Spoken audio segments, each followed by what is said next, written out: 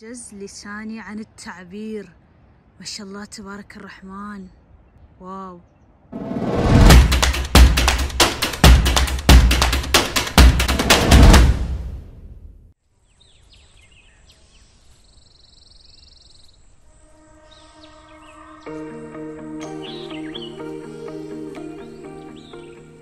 راح نتعرف بهذا الفيديو إلى الشمال الإيطالي بس أول شيء لازم تعرفون أن الشمال الإيطالي عبارة عن جزئين الجزء بحيرة كومو وضواحيها وكذلك جبال الدولوميتس وضواحي هذا الجبل الرائع خلونا نتعرف بالتفصيل إلى الشمال الإيطالي تحديدا منطقة جبال الدولوميتس Attention passengers, we've now reached our destination. We hope you enjoyed the flight and have a nice day.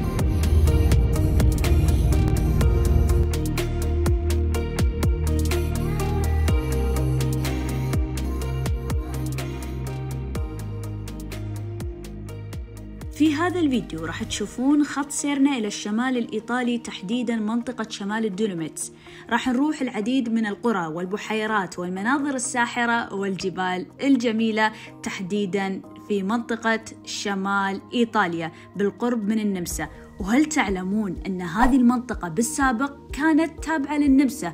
وأغلب سكان هذه المناطق الشمالية يتحدثون باللغة الألمانية لأن بالسابق كانوا جزء من النمسا قبل الحرب العالمية الأولى لأن في الحرب العالمية الأولى تم ضم بعض مناطق النمسا إلى إيطاليا. لذلك لما تتمشون وتتجولون فيها راح تحسون حرفيا أنكم في قرى النمسا وألمانيا وسويسرا أكثر من كونكم في إيطاليا. قلنا بادوفا بس إحنا شوية برا ال center بنقعد ليلة فندق بسيط كذي بو ثلاث خارب نجوم كذي شيء كذي بس نظيف الصراحة ما في أي شيء. آه، فبنطلع الحين نتمشى بالسنتر مالهم بس أول شيء لازم نبدل ملابسنا. خارج المدينة يعني منطقة بادوفا يعني تقريبا ربع ساعة وعشر دقائق بالسيارة فراح أروح لها عشان أسرع لنا باكر نحرك إلى منطقة أخرى.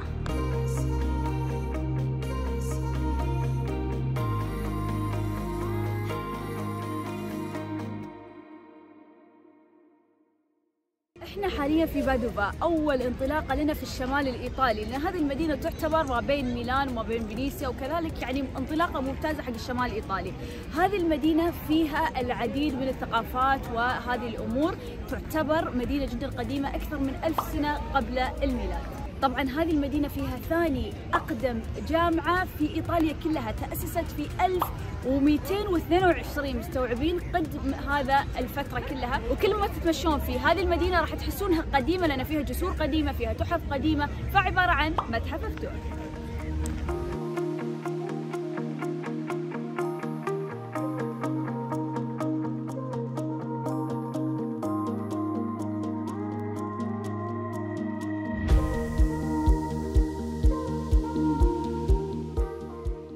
لما تكون في وسط السنتر وتشوف مدخل الجامعة قدامك في ثاني أعرق وأقدم جامعة في كل إيطاليا.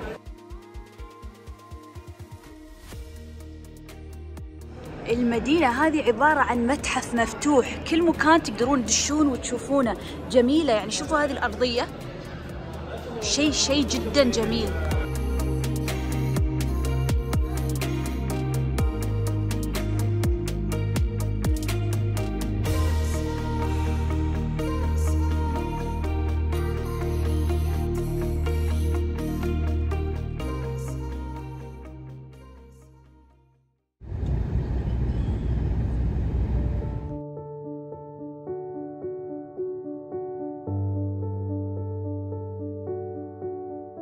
فينيسيا دائما أصفط في هذا ال parking اخذوا اسمه عشان تيوله وتصفطون فيه. الخير. هذه المحطة هي فيها ال center الرئيسي في كل فينيسيا اللي هو أكبر center في فينيسيا. فيها العديد من السناتر مثل ما تشوفون في كل الاتجاهات تقريبا.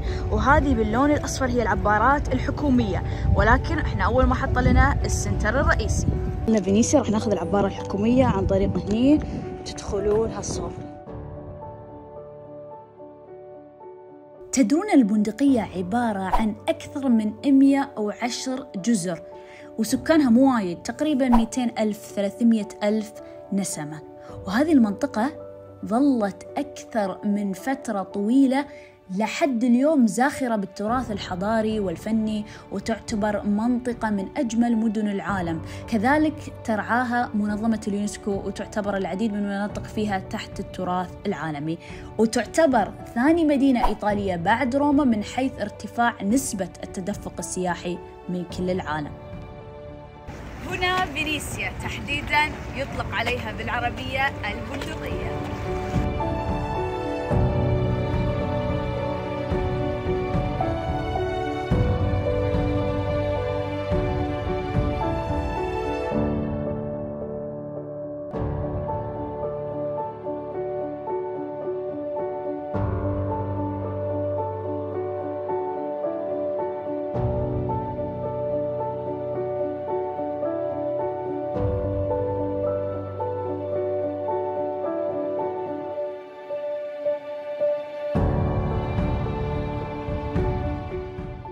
راح نصعد البرج عشان تصعدون البرج تقدرون هني تسوون سكان وتحجز لكم موعد أو تقفون في الطابور مثلنا. الشخص الواحد ب 10 يورو عشان تصعدون البرج البرج من فوق.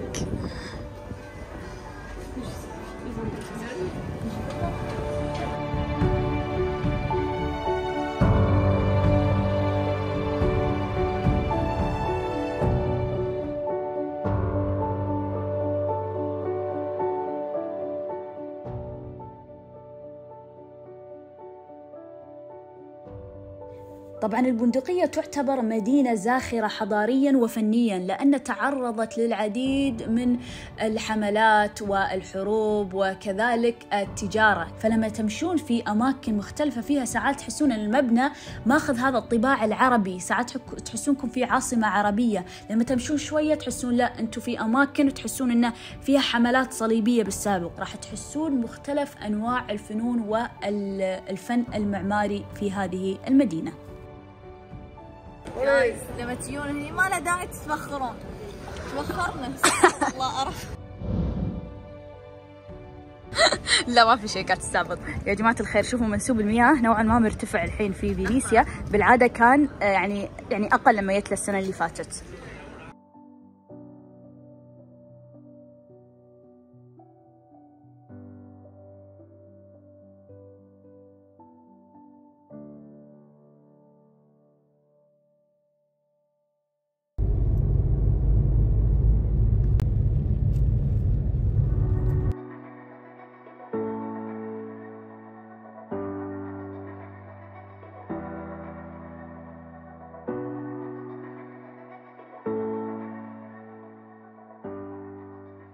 جماعة المبنى جذبني الصراحة.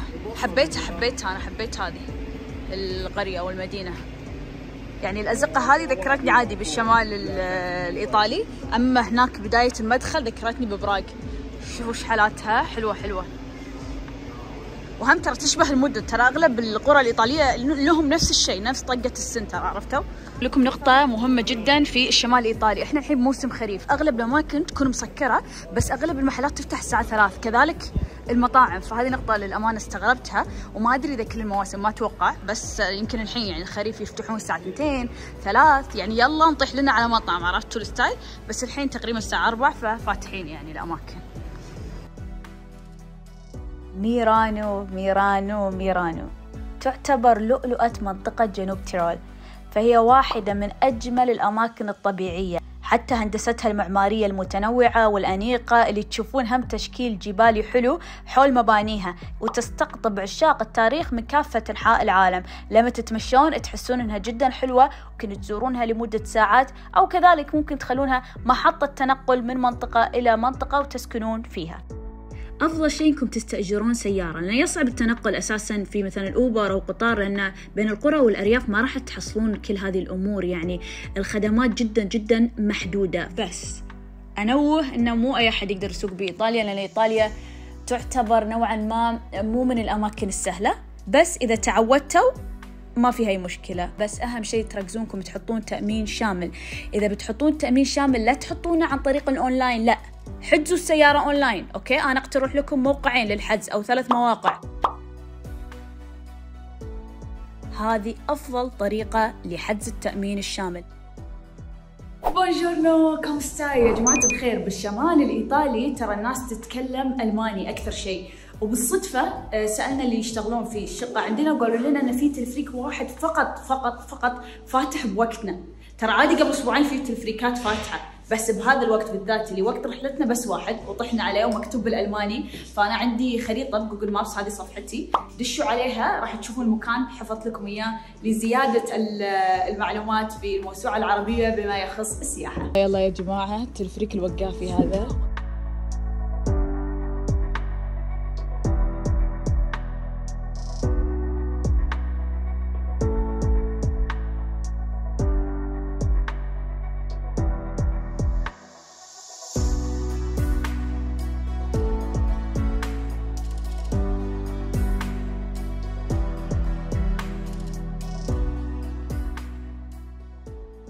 مدينة بولزانو من المدن الساحرة جدا. وايد حبيتها لأنها كبيرة ومتنوعة تتمتع بطبيعة خضراء. لكن إحنا يعني فصل الخريف بس هي بشكل عام خضراء. وهم موقعها استراتيجي في قلب جبال الدولوميت فراح تشوفون جبال الدولوميت حوالين هذه المنطقة وتعتبر يعني جوها حلو حتى بالصيف. يعني يعتبر نوعا ما دافي إلى بارد نسبيا. أما بالشتاء تتحول منتجعات شتوية يعني حق التزلج أما في وقتنا يعتبر وقت ممتاز قبل سقوط الثلج.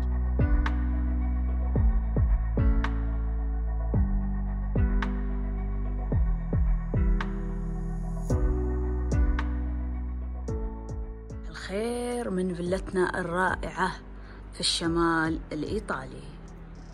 ترى؟ بونجورنو كوم ستاي؟ الله.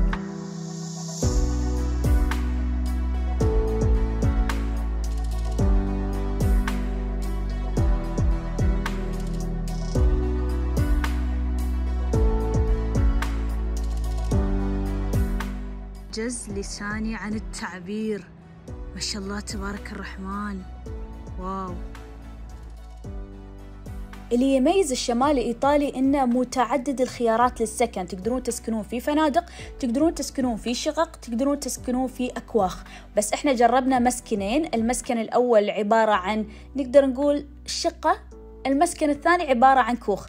اثنينهم حجزناهم عن طريق خيارين. يا أنكم تحجزون عن طريق Booking.com يا عن طريق Airbnb وأنا جدا أرشح Airbnb لأنه هو يعطيكم خيارات أنكم تسكنون في أكواخ مالوت السكان المحليين. بس ننتبه حق نقطة مهمة لا تحجزون إذا ما في تقييم. يعني حجزوا باماكن فيهم تقييم. فأفضل شيء أنكم تقرون تقييم الناس قبل الحجز. خلي راسك عادي لأن أحس كأنك مسوي تتا أنت طبيعية؟ إيه. أحس شو شو مسويتي؟ زاوية ثانية نطري.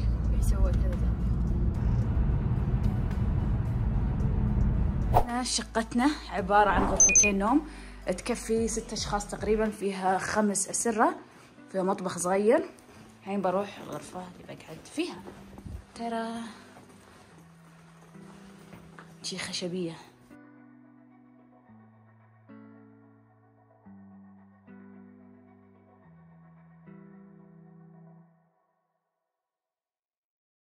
في الشمال الإيطالي قرية فيبيتينو. جميلة جدا أتمنى أني نطقتها صح. ساحرة صغيرة عبارة عن center. ال center هذا يمتد من بداية إلى نهاية الطريق ويعني قصير يعني مو وايد طويل وال- وال center بسيط للأمانة ولكن يستحق الزيارة من جمال المنظر وتشوفون المباني والجبال خلفها. في هذه القرية تذكرت جدا القرى النمساوية السويسرية لو تلاحظون حتى طريقة المباني طريقة تركيبة القرية هذه جميلة.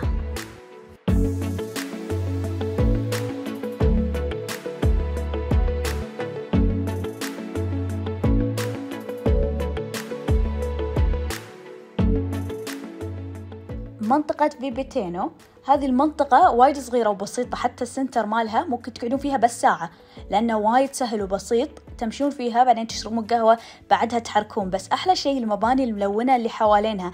ممكن تشوفون قدام ساعة المدينة أو مركز المدينة وشلون الشكل جدا حلو خصوصا أنه خلف هذا المنظر الساحر في جبال. فوايد حبيت المباني الملونة مع الجبال.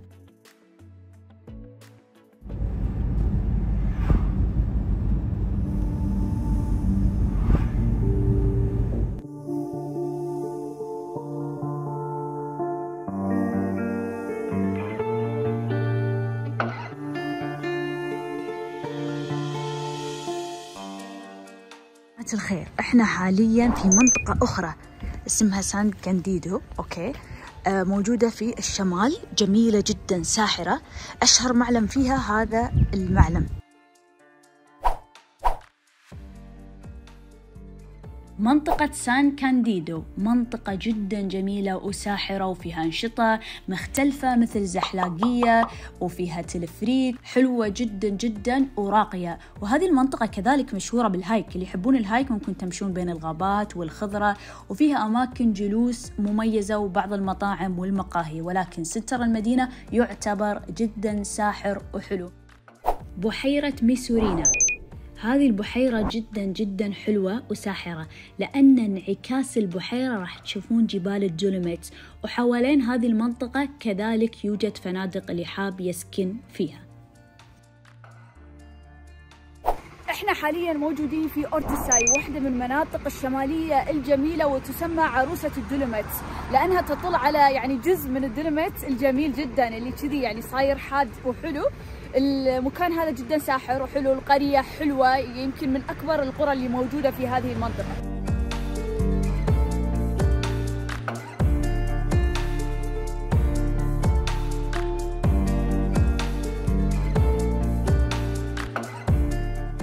المنطقة بالصيف وكذلك بعد شهر تقريبا شهرين راح يفتحون التلفريك لأن التلفريك يسكر يعني تقريبا شهرين بالسنة.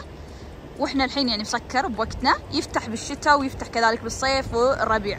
فهذا التلفريك جدا مشهور حق هذه المدينة.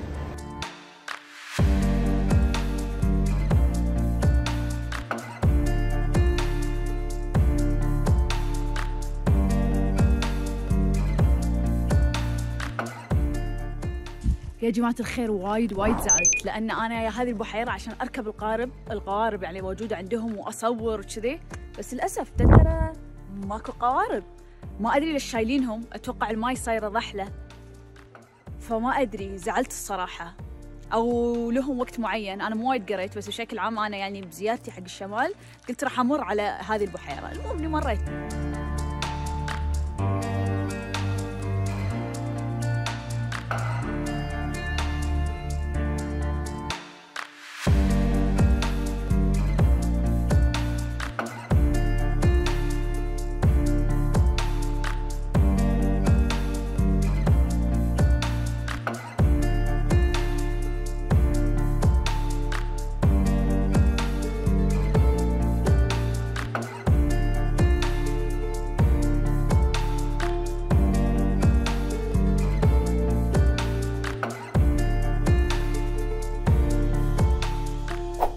بريكسن تعتبر من أقدم البلدات في جنوب تيرول وجدا حلوة لأنها جبلية وحيوية وفيها وايد معالم وأماكن مختلفة ومزارات أثرية وثقافية متنوعة.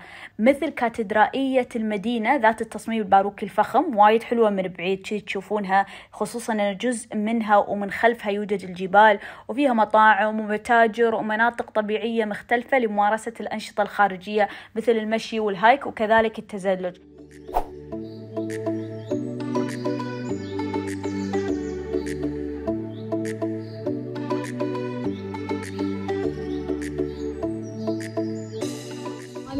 الإيطالي إلى واحد من أشهر الأوتلتات اللي موجودة في إيطاليا.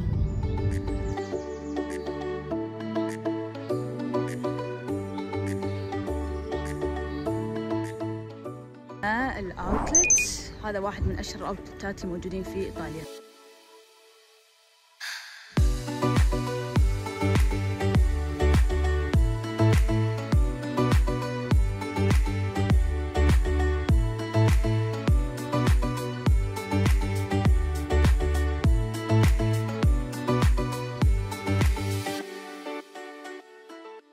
هذا الأوتلت جدا جميل وفيه العديد من الخيارات ما بين الماركات الفخمة العالمية وكذلك الماركات الرياضية يعني حبيت التنوع اللي موجود فيه ويعتبر تقريبا ساعة من ميلان يعني مو مو بعيد وكذلك في مواقف مجانية تقدرون تصفطون السيارة وتروحون حق هذا الأوتلت وتتسوقون فيه. والجميل كذلك إنه يفتح من الصبح إلى الساعة الثامنة مساء. إحنا تقريبا رحنا الساعة ثلاثة العصر وقعدنا لمن سكر وهم في خيارات مطاعم وقهاوي تقدرون تاخذون استراحات ما بين التسوق.